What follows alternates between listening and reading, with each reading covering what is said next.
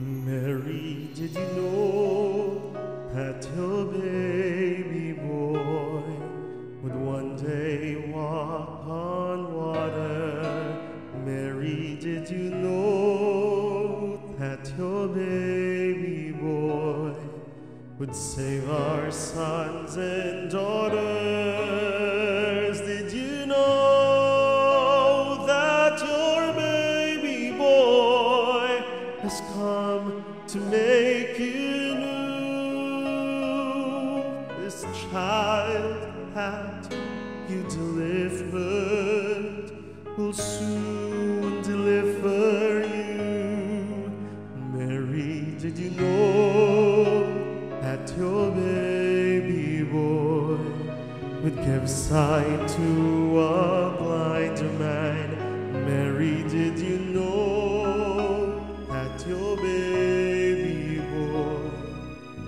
would calm the storm with his hand? Did you know that your baby boy has walked where angels run? When you kiss your little baby, you have kissed the face of God. The blind will see,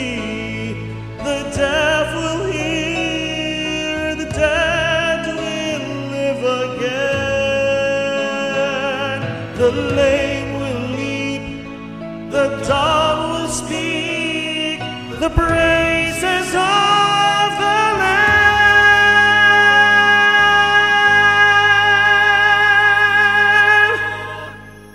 Mary, did you know that your baby boy is Lord of all creation?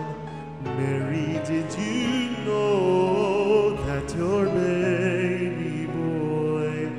would one day rule the nations? Did you know that your baby boy is heaven's perfect lamb? The sleeping child you're holding is the great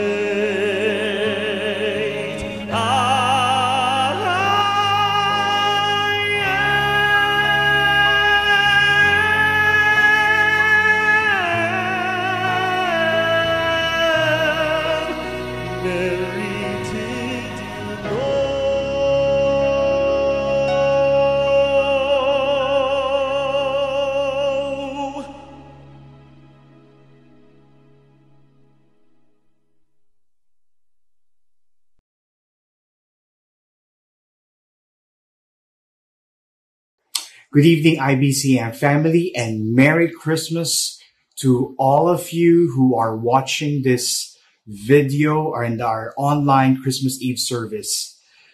Wow, uh, how we desire that we could be together physically gathering, but 2020 has caused all of us to be in virtual. But we thank God for the means of grace that we can still gather in this format. I'll, I'd like to share it to you um, so like a short message for this evening.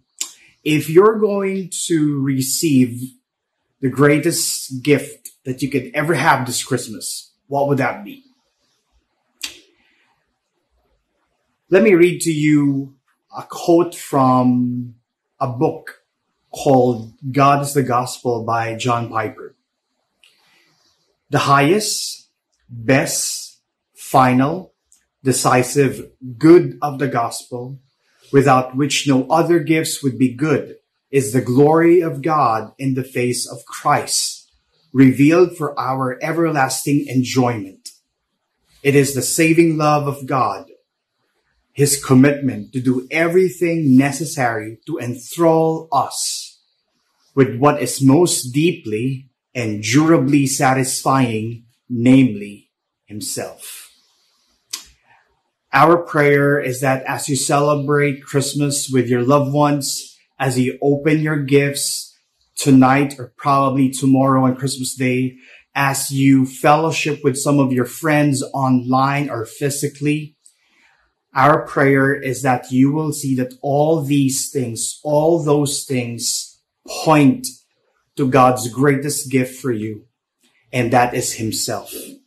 Christmas is about the incarnation of our Lord Jesus Christ. God giving himself to us sinners who desperately need him. That's why my prayer, our prayer is that you will experience Christ this Christmas like never before because his ultimate, decisive, best gift is already in you. And it, it's Jesus Christ. Ephesians chapter 3 verses 17 to 19 says, so that Christ may dwell in your hearts through faith, that you, being rooted and grounded in love, may have strength to comprehend with all the saints what is the breadth, length, height, and depth, and to know the love of Christ that surpasses knowledge. And here, Paul's prayer and God's prayer to all of us this Christmas, that you may be filled with all the fullness of God. Merry Christmas to you and to your family and God bless you.